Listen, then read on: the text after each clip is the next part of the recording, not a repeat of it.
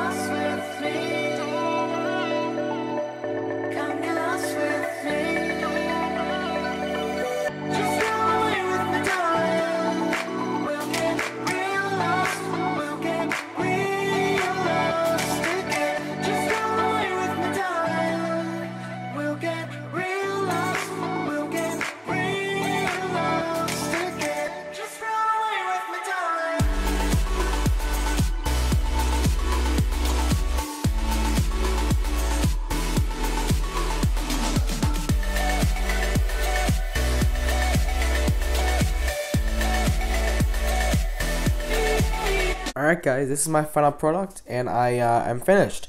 So if you don't know how these work, so you pretty much just hold it and you just wave your hand back and forth, so this is what it looks like. See, like this. So this is the clapper toy that I was talking about before. So now you actually understand how this works. So you just hold it by the bottom here, and then you just wave it across back and forth. And that's that. So yeah, so this took me around a half an hour in total to build, plus record. Actually, no, recording and everything took me an hour. So yeah, um, that's the um, video on the cardboard clapper. So I um, that's all I have to say. So I hope you enjoy this video, and I'll see you all later.